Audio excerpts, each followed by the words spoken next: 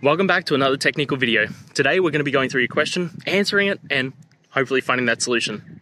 Guys, remember to stay just a little bit crazy like me, and hopefully you get to that resolution. Now, let's continue on.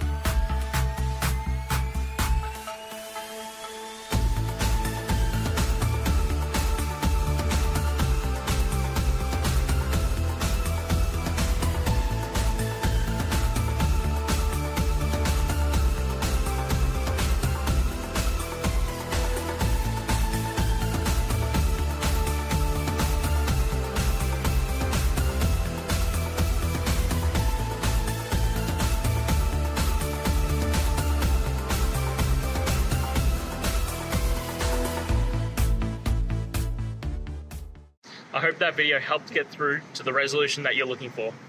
If it did, please hit subscribe. I really appreciate it. And until next time, I hope you have a great one. Cheers.